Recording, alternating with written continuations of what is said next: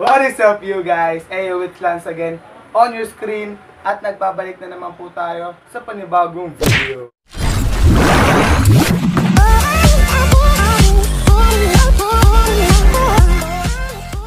So for today's video, um, pumunta kami kasi ng kapatid ko kanina sa SM Fairview at binili namin tong isang bagay na napakalupit. Nasasagot sa ating mga problema sa buhay. Pakita muna, pakita muna. Ah, Belo-belo pa. Ah, ito nga pala yung kapatid ko, si Justin. Ah, yan. Ah, ano siya sa Facebook kasi follow niyo siya. Sa Instagram, ililink ko yun sa baba. So, ito na yung ano natin. Ayan na yung product natin. Pakita mo na. Ang isang mysterious paper bag with a box inside. So, ang gagawin po natin ngayon is an unboxing video of this thing. Ginagawa mo! At i-unbox na natin to.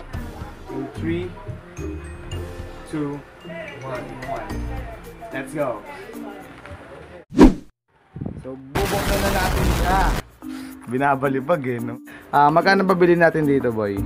1999. For only 1999, ito na siya. Nalalabas na natin siya. Oh my God!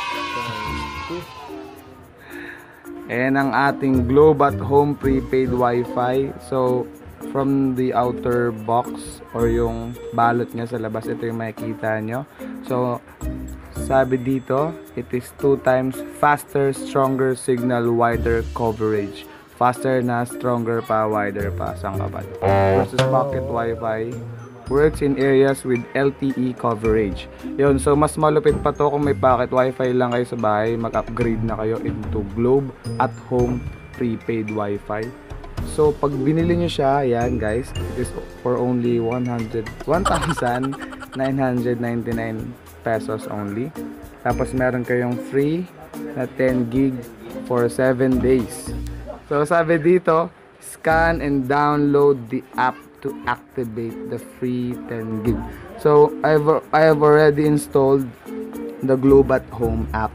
So dito naman sa likod makikita natin yung ah iba pang nakasulat dito. It says here that plug and play, no installation needed. So yan, napaka basic, pa-plug nyo lang, pa-play nyo lang, may wifi na kayo. No monthly fee, just load and surf. Yan, dahil wala siyang monthly fee, mag-load lang, pwede ka na mag-surf. So wala kayong babayaran buwan-buwan, depende sa inyo kung gusto nyo mag-load o hindi. And then you can connect multiple devices and it has fast internet powered by Globe LTE. Globe at Home Prepaid Wi-Fi. Ayan, bubuksan na natin siya. Oops. Jara! Ayan, so dito yung box niya yan. Naka-box talaga siya and naka-sealed. Mabuvoid yung wara niya kasi yan. Kailangan matanggal muna to. Yan, ayan. Yan, unbox. Yan! So dito, makikita na natin ang malupitang. Itabi muna natin yan. Yan. Ha. Jaran! Jaran ng jaran eh. Napanood mo ba yun, boy? Yung Yung jaran. Ay, napapakita ko sa'yo. to my brush. Chat! Gusto pa ako mag-make. Chat! Chat! Ito na So weird. Yan, nakita mo na. Nakita ko na. Yara! So, sa labas makikita natin yung ito, yung mismong, ano yun, yung- yung mismong modem natin. Yan, Globe at Home Prepaid Home Wi-Fi. Yan, so ganito siya kalaki. Nasa likod guys, makikita natin yung, ito yung number niya sa likod. Ah, kung gusto niyo kaming loadan, ah, loadan niya yan. So, tanggalin muna natin siya sa plastic. So, yan. Um, yan. Ayun yung QR code. Ano ba yung QR? Basta QR. I-scan nyo yan para ma-download yung app. Ako na-download ko na yung app kanina pa. So, ito yung number niya. Kung gusto nyo loadan, loadan nyo na. Joke lang. Tapos dito, yung LAN. Yung LAN cable, dito siya kinoconnect. And then yung power na. Yung adapter, dito niya siya i-connect. Okay, gets? Tapos dito naman sa side na to, do not tamper, sabi ni Globe. Kasi dito nakalagay yung SIM card niya. Okay?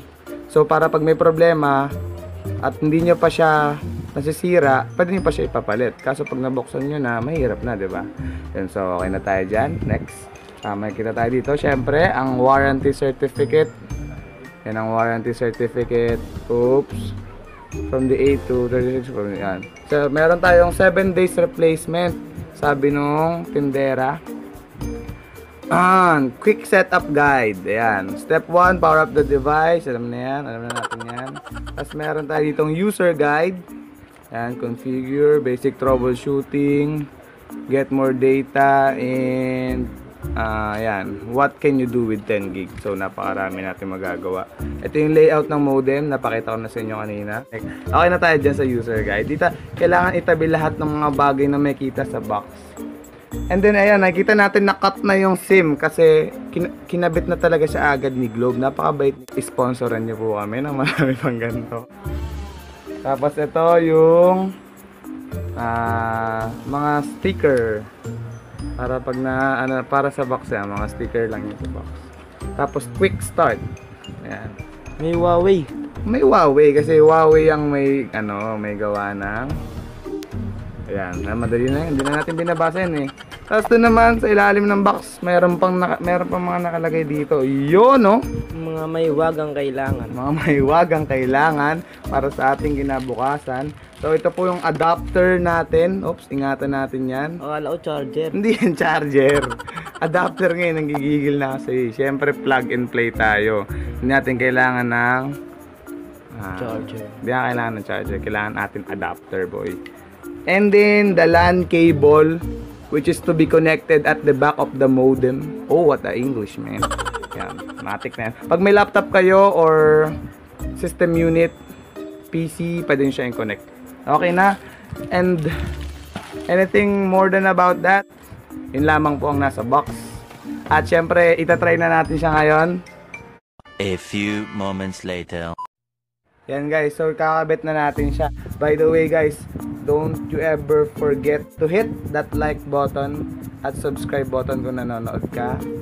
At comment mo na rin yung mga thoughts mo about this content. Unboxing. So yan guys. Yan, itinanggal ko muna yung kanyang candy wire para umaba yung ating wire. So ikakabit na natin siya. Okay.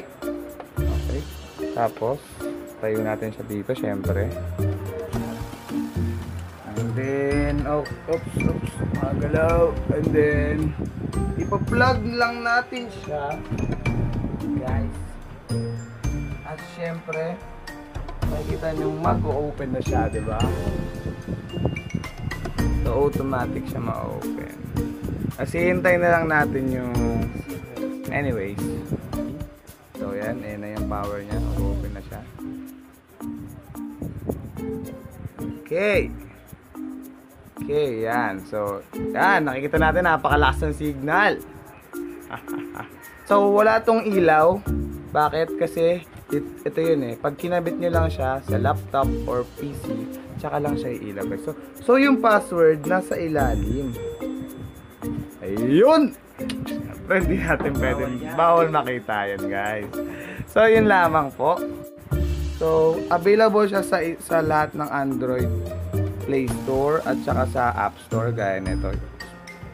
Yan, gaya yan. Glo yan, i-install niyo yung Globe Home na yan. Get. Scroll. Okay. Tapos, we're good to go.